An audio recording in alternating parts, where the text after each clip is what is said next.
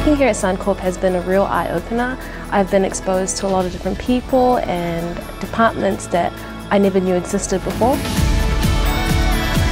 My favourite part about working at Suncorp is meeting new people. Uh, it's been a great opportunity to work with the different parts of the company. Working at Suncorp, I love the people here.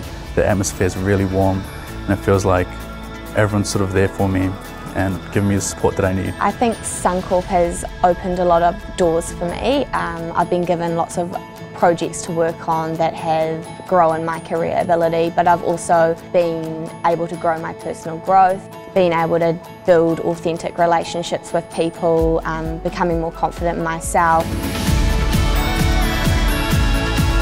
The Tuputoa Internship Program is a program that provides Māori and Pacifica individuals the opportunity to have a glimpse of the corporate world and what, what it's like.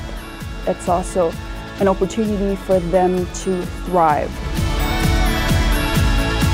It offered me the opportunity to work in a place like Suncorp, but also with the support of the whole Tuputoa program behind me as well.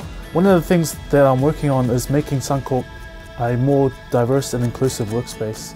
We're working on enhancing Te Reo Māori and making our people more comfortable and confident in speaking the language in their everyday interactions.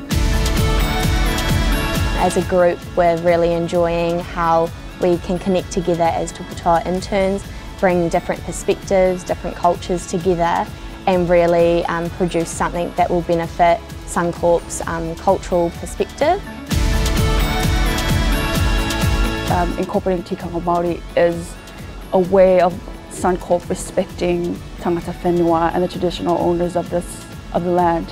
Being able to tell people and tell everyone that I did have a part in how far they've come as a company and progress with cultural inclusion means a lot to me and it's something that I always take with me. For anybody who's thinking of signing up to the program, I would just say do it. I mean, it's an opportunity which you might not otherwise have and so why not? I'd say do it.